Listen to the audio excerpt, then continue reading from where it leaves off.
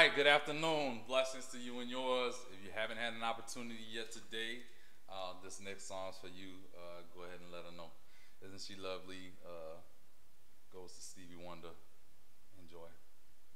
Let's vibe.